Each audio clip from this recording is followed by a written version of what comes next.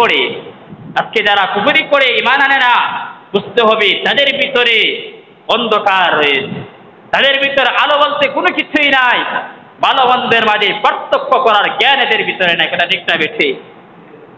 এদের ভিতরে ভালো মন্দের জ্ঞান না থাকার কারণে ওরা আজ বাংলাদেশের মুসলমান কেন সারা বিশ্বের মুসলমানদের বিরুদ্ধে লেগে যায়, কথা ঠিক না বেশি আজকে আমাদের ইমানকে তারা সহ্য করতে পারে না।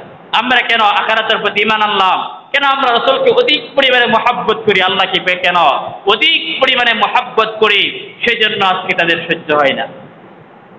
আপনারা যারা মোবাইল দেখেন, যারা বিভিন্ন ফেসবুক, ইউটিউব দেখেন, দেখ, আপনারা অনেকেই দেখেছেন যে এক পুলিশ কয়েকদিন আগে আমার নবীকে নিয়ে ব্যঙ্গচিত্র করেছে।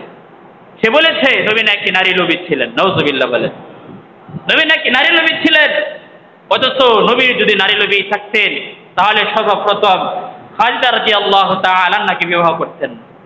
কোথায় রসুলের বয়স হচ্ছে মাত্র পঁচিশ বছর?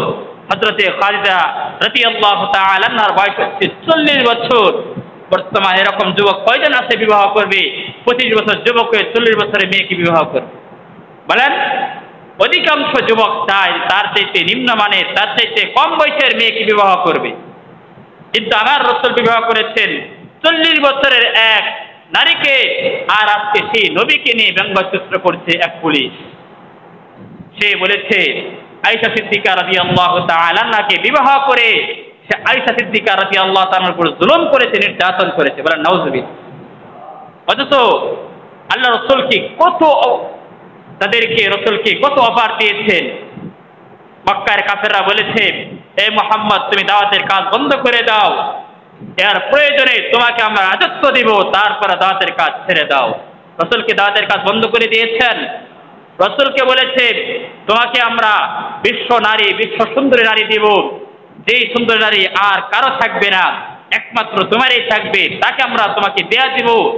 এর বিনিময়ে তুমি দাওয়াতের কাজ ইসলামের পথ বন্ধ করে দাও।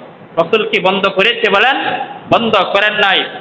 রসুলকে উপহার দিয়েছে রসুলকে তারা অপশন দিয়েছে অফার দিয়েছে যে, মোহাম্মদ, তুমি এই লা ইলাহা ইল্লার কাজ ছেড়ে দাও।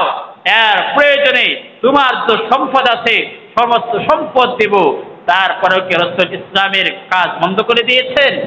বন্ধ করে দেন নাই।